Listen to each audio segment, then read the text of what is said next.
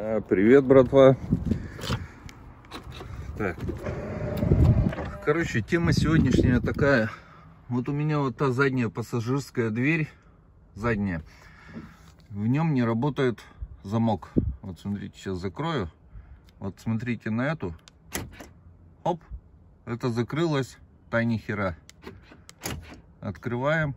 То есть она дергается, но ей чего-то не хватает. Я уже ее разбирал. Там сам замок, он неразборный, я его полностью вытащил. Ни хера, его до меня уже кто-то разбирал, он весь какой-то коцанный и так далее. То есть он перестал работать. Был заказан другой замок с одного известного сайта за совсем недорого. Сейчас мы будем его менять. Для замены нам понадобится, ну, вот такой вот чемоданчик. А для того, чтобы фишки эти вытаскивать, то набор инструментиков и, собственно, сам замок.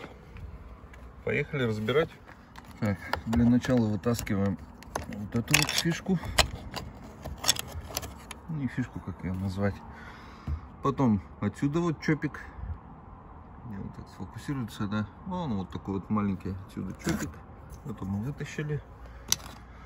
И тут у нас болтик на 10 выкручиваем. Дальше, когда мы открутили здесь, открутили тут болт, сама обшивка держится на двери на клипсах. Поэтому без фанатизма клипсы, в принципе, хорошие, они не ломаются. Мы, ну, как-то вот так, короче, отгибаем. Ни одной рукой неудобно. Короче, при помощи, э, она полностью вся на клипсах. То есть клипсы отдергиваем, дверь, э, обшивку приподнимаем, и она вылазит отсюда. Все, вот смотрите, вот они клипсы. Вот оно все на клипсах. Ни одна клипса не сломалась.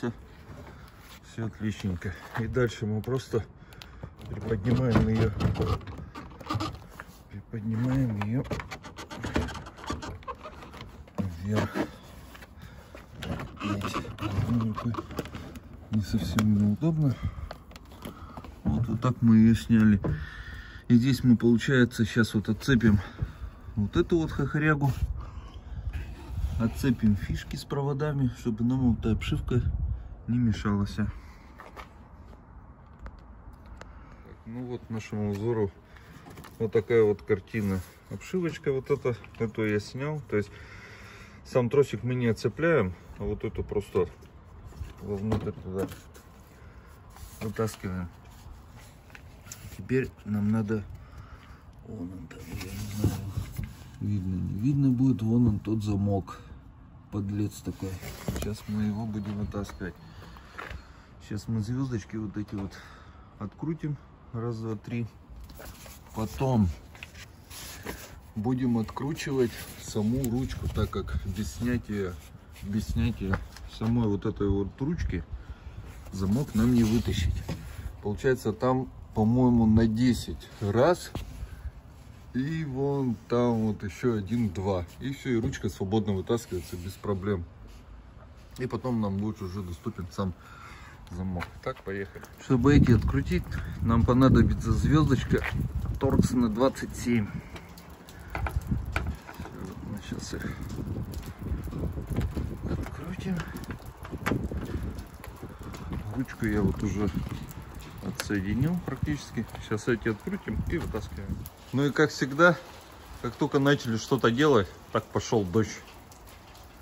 Так что вот ручку я снял. Вот он у меня здесь. Сейчас вот он сам замок. Сейчас фокусируемся. Вот видите, тут как будто кто-то, наш, не знаю, это болгарка или чем тут что-то пилили, пытались его разобрать, или я не знаю, что сделать. Как бы вот он, вот такой. Вот эти вот, получается, э, вот эти места, вот здесь вот должны стоять бол болтики, там болты, их нету. Видимо, их уже, ну, пытались разобрать. Ну, как бы его особо не разобрать. Там все вывалится, там хер соберешь. Ну все, сейчас мы, получается, другой замочек сюда присоединяем. И все в обратном порядке. Вообще, если бы не дождь, на все про все, до полчаса максимум. И то с перекуром, наверное. Так, ну вот получается, вот он наш новый замок, вот он наш старый замок. Со старого замка мы, получается, полностью вот этот тросик подсоединили. Значит, вот эту хохорешку подсоединили и подсоединил и вот эту вот рычажок вот этот. Здесь вот такая вот была вот эта вот китайская болванка. Я ее убрал потому что тут на какую-то глубину надо ее вот этот вкручивать хер его знает. Мы вот его целиком сюда переставили. Все вот он готов. Сейчас вот только дождик чуть-чуть подуспокоится будем устанавливать. Ну вот разница между ними, знаете, какая? То есть э, здесь никаких, кроме вот этой вот аббревиатуры буквы R, что это правый, да, больше никаких надписей нету. Это он китайский. А здесь, э, вот она, вот она надпись, вот ее плохо видно, да? Вот, сейчас фокусируемся, вот она, GM, то есть это оригинал. Стоимость его э, нового, да, порядка, наверное, я думаю, я что-то, нет, по-моему, я смотрел, но я не помню, порядка 7-10 тысяч рублей вот этого замка джемовского оригинального. Да, и сейчас вот этот поставим, посмотрим, будет, вдруг он вообще не будет работать. Так, ну вот ручку я обратно поставил. Здесь еще обшивку не сделал, там все прикрутил. Вроде бы как бы закрывается. Немного как-то жестко, может быть, непривычно, но сейчас смазочками все это сделал.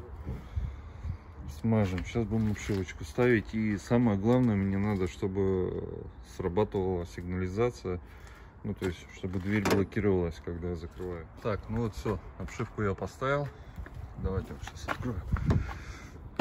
Посмотрим. Так, все. Вот обшивка на месте. Эта штучка на месте. Сейчас давайте проверим.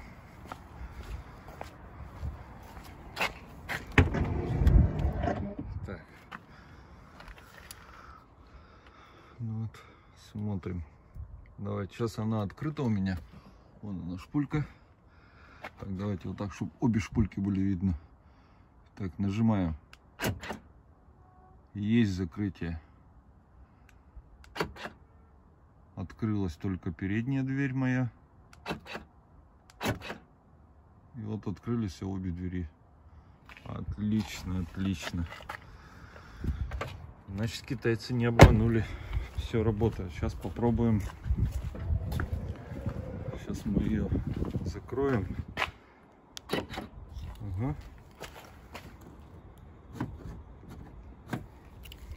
Так, сейчас откроем. О.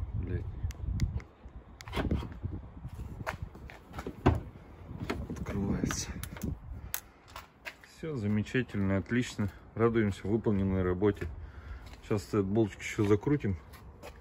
И все, и надо будет в салоне прибраться. Я просто перевозил тут кое-что, поэтому тут немного так сумбурно все раскидано. Вот, и, и на этом, на этом все. Кому интересно, ставьте лайк, подписывайтесь на канал. Буду стараться максимально выкладывать все видосы о всех затратах на этот автомобиль. В данном случае значит, замок мне обошелся в полторы тысячи рублей и где-то две недели ожидания. А, брал я его с Алиэкспресса. Ссылочку я оставлю в описании на этого продавца, на этот замок. Замок хороший, один в один, как родной. Единственное, там GM написано, здесь ни хера не написано. Все, то есть э, по времени работа занимает менее получаса. Все, всем спасибо за просмотр. Всем пока.